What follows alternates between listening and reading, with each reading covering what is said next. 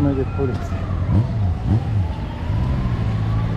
Nici șoferul, nici pasagerul nu poartă centură și unul mă claxonează. Cu numărul 361.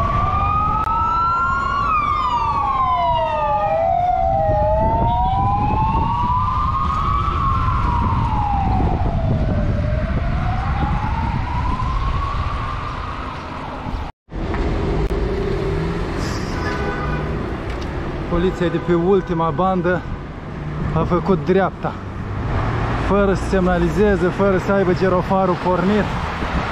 Ăștia cei pe care i-am filmat lângă Palatul Cotroceni fără centură.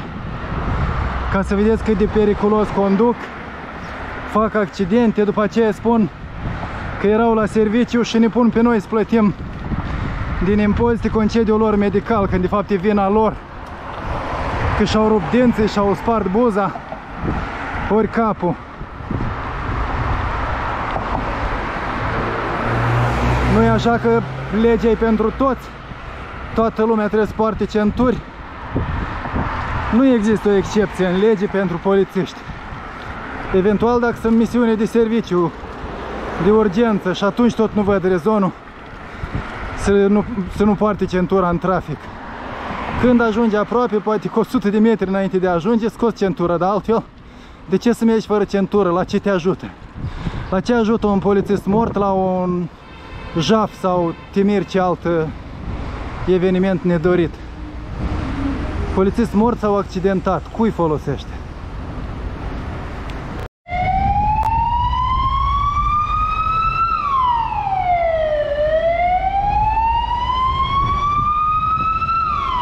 Până nu s-a făcut verde la semafor, nimeni nu s-a mișcat.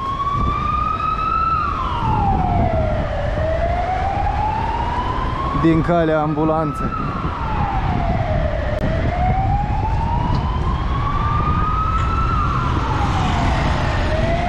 Dacă ar fi ei acolo sau vreo rudă de-a lor, ar vrea să ajungă mai repede. Dar așa, om străin, cine știe cine e acolo, nu ne pasă.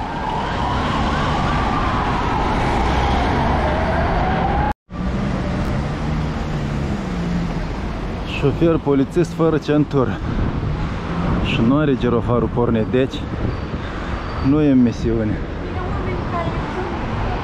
E contravenient.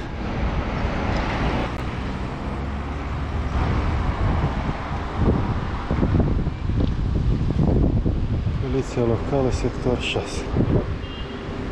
A început să meargă cu mașini electrice, dar nu știu de ce nu folosesc centura. Poate să certați cu regulile de circulație.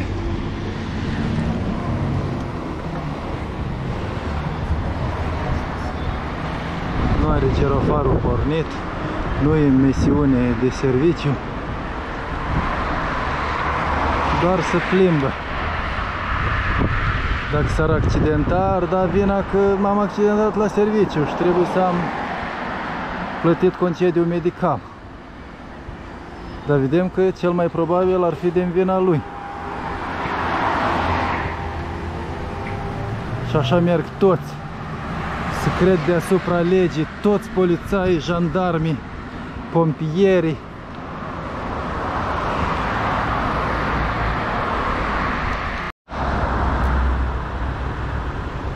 Lângă Cotroceni, tot fără centură îl găsesc.